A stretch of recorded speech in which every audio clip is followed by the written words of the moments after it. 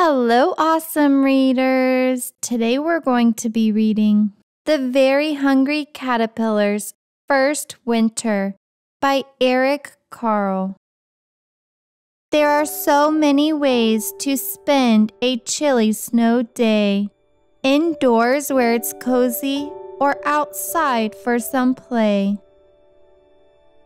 Watch icicles form and snowflakes flurry there's fun to be had outside if you hurry.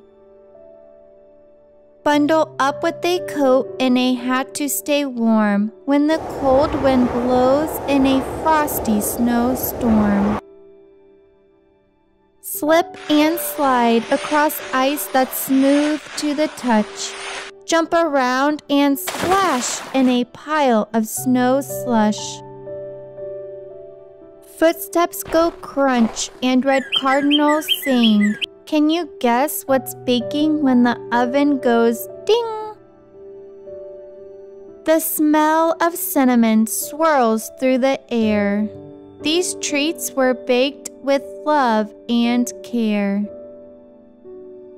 There are warm sugar cookies with sprinkles for munching and sweet hot chocolate for when they need dunking. That snack was tasty, but it's time to go. Back outside to play in the snow. Snowballs fly and snowmen stand tall. Winter is a season that's so fun for all.